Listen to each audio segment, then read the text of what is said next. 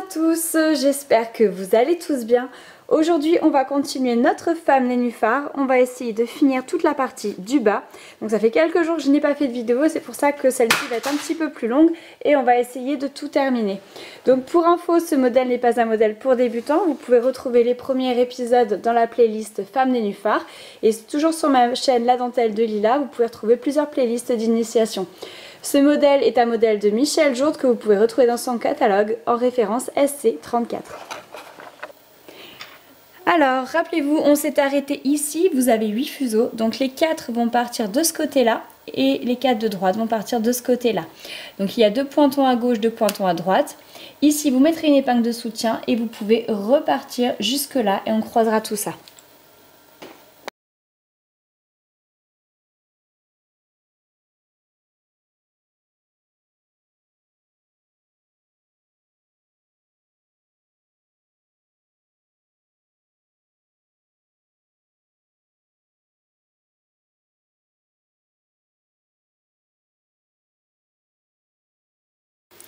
Une fois arrivé ici, au croisement, vous faites un croisement de 8.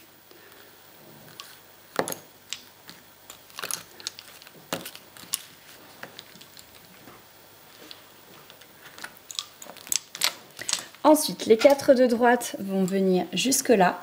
On va les crocheter ici et ils vont repartir ici. Donc dans le crochetage, dans la boucle, vous faites passer trois autres fils. Vous crochetez bien les quatre.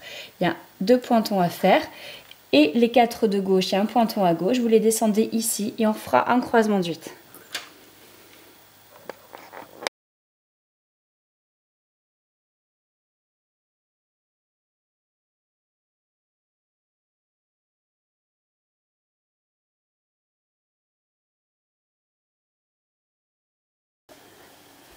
Une fois que c'est fait, donc on a dit on fait un croisement 8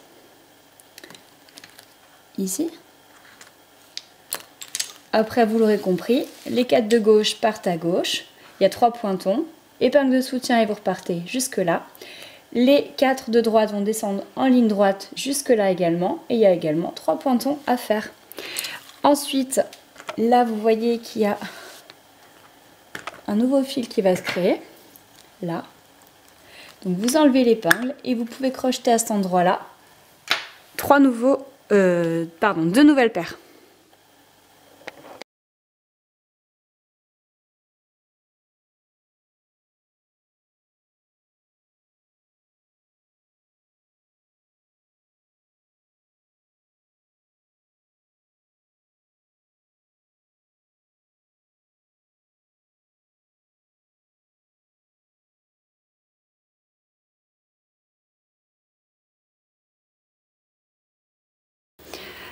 Alors ensuite, une fois que tout ça est fait, donc les 4 que vous venez de rajouter, vous allez les descendre ici, faire un pointon à gauche.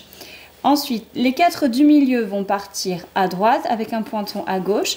Et les 4 de gauche vont descendre ici avec un pointon à gauche.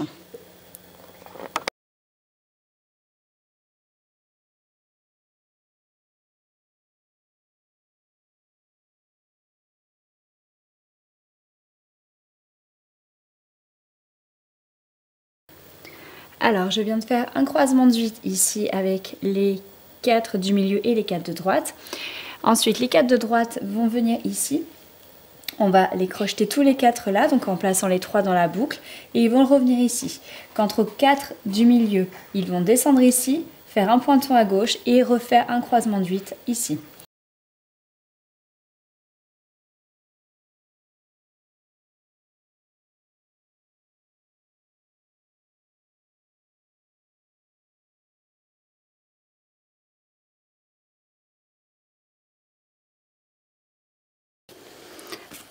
Alors, une fois le croisement de 8 fait ici, j'ai continué mes 4 de droite sur cette ligne-là, les 4 du milieu sur cette ligne-là avec les pointons correspondants et j'ai refait un croisement de 8 ici. Donc là maintenant, les 4 de gauche vont descendre ici, les 4 du milieu vont descendre ici. Et sur cette épingle-là, vous allez crocheter 4 nouveaux fils, donc deux paires, qui vont descendre comme ça, qui vont venir se croiser au fur et à mesure. Donc maintenant, je pense que vous avez compris le principe des pointons. Donc je vais faire le reste de la vidéo uniquement en accéléré pour que vous puissiez voir le cheminement des fuseaux et sur le travail.